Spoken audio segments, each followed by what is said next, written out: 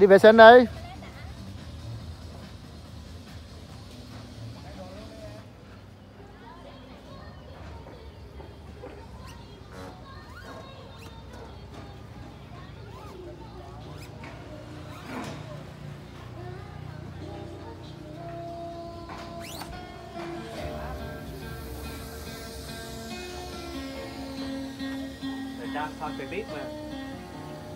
Đi luôn hả